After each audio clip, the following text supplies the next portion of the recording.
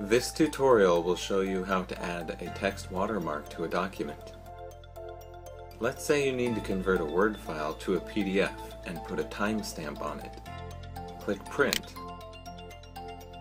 Select the Universal Document Converter printer from the list and press the Properties button. Go to the watermark settings and select Text Label. Select the desired date and time format strings from the macros list. Change the rotation angle to 0 degrees. Go to Post Processing and click Open Output Folder.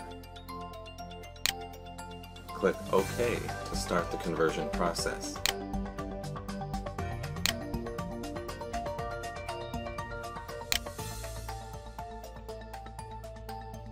Voila! The document is now converted to a PDF, and there's your timestamp.